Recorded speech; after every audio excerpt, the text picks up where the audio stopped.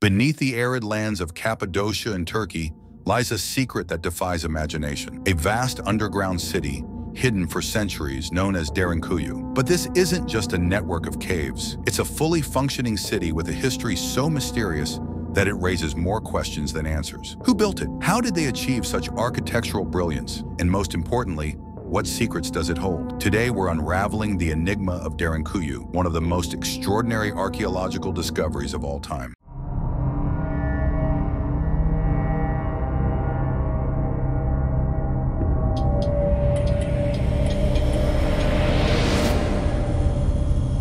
In 1963, in a quiet village in the heart of Turkey, a routine home renovation turned into a discovery of epic proportions. While tearing down a wall in his basement, a local man uncovered something astonishing. A narrow passageway leading deep into the ground. Curiosity got the better of him, and as he explored further, he found himself wandering through a maze of tunnels and chambers. This was no ordinary basement. It was the gateway to Derinkuyu, a massive underground city buried deep beneath the earth. To this day, the discovery is hailed as one of the greatest archaeological finds in history. Let's put this into perspective. Derinkuyu extends to a depth of approximately 85 meters, or 280 feet. That's the height of a 25-story building, but underground. It's not just deep, it's vast. Spanning 18 levels, this underground marvel was designed to house up to 20,000 people, along with their livestock and food supplies. Every aspect of this city was meticulously planned, from its ventilation shafts to its strategic layout. Some of the features include living quarters,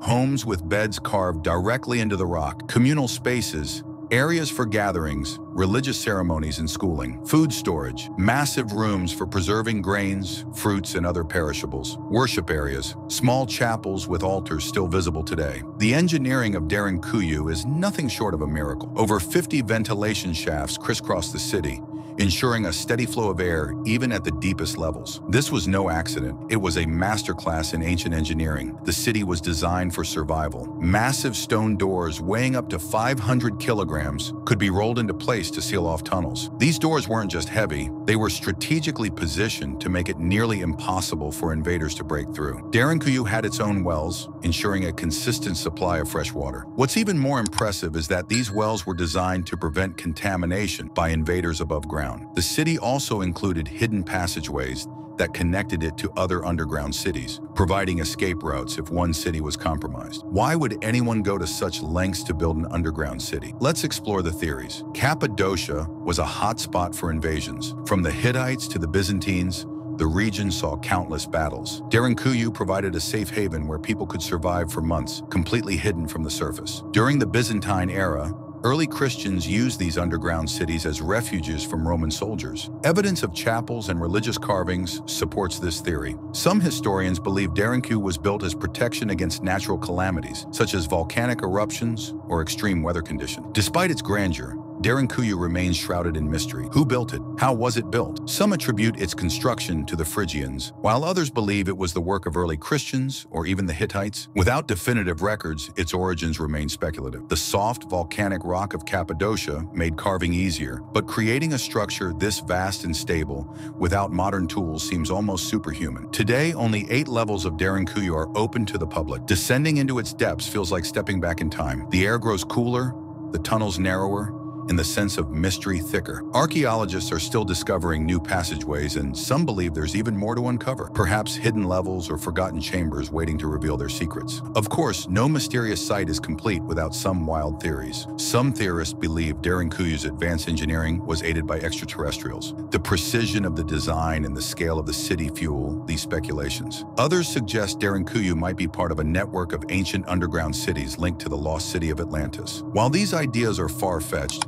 they highlight just how extraordinary Derinkuyu is. Cappadocia is home to several underground cities, but none compare to Derinkuyu. Its size, complexity, and defensive features make it a standout among its counterparts. Derinkuyu isn't just an archaeological wonder, it's a symbol of resilience. For the people of Cappadocia, it represents the ingenuity and determination of their ancestors to survive against all odds. The underground city of Derinkuyu stands as one of the most astonishing archaeological discoveries in history, supported by substantial evidence and documentation that confirm its existence and highlight the mysteries surrounding it. This includes archaeological findings, architectural studies, historical records, and scientific analyses, all of which are well documented and accessible. Extensive archaeological research conducted by Turkish and international scientists has further confirmed the existence of this city. The materials used in its construction are primarily composed of tuff, a soft volcanic rock found in the Cappadocia region. This material is relatively easy to carve but hardens over time, providing the structural integrity necessary